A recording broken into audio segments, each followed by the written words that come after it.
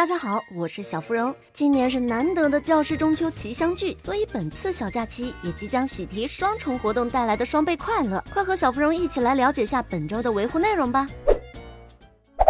二零二二秋季 eCar 的专用点充值抽奖活动将于二零二二年八月三十一号十二点至二零二二年十一月三十一号十二点，在全部服务器放出。活动期间，少侠每次在网易充值中心充入《梦幻西游》专用点达一千点时，就可以兑换一张专用点刮刮乐，刮开奖券就有机会把神兜兜、高级魔兽要诀、金刚石等珍稀道具抱回家，或者选择获得一次抽取神兵套卡的机会，有几率可以抽到精美的神兵套卡。在集齐十八张套卡后，还有丰厚的套卡奖。奖励与成就点等你来拿！近期打算充值的少侠们，记得留意活动时间，不要错过这波小福利了！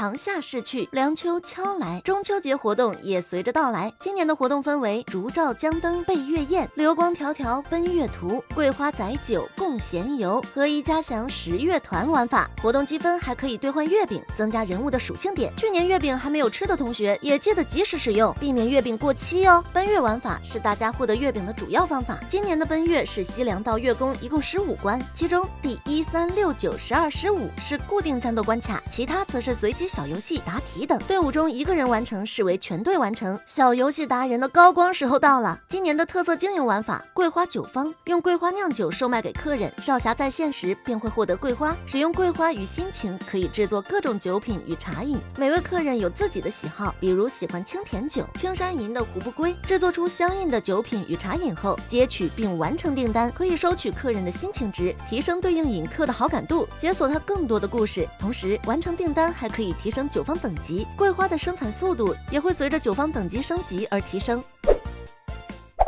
八月中九月起，神兽归笼，教师节随之到来。今年的教师节活动主要是以特色单人活动为主，分为看图说话、谁是学霸、师徒情深、萌学夫子。活动有丰富的奖励，还可以获得笔墨纸砚，找偷偷怪兑换炼兽真经。论坛为大家准备了往年答题活动题库，大家可以提前预习一下哦。你可以通过萌夫学子玩法体验一次夫子教学，认领一名学童小丫丫或小毛头，教授学童各种课程，培养德智。体美四种属性，属性状态将会影响小学童的人生志向，触发不同的结局。学童出世后，你还可获得转盘奖励。好了，本周的内容就到这儿，咱们下周二再见，拜拜。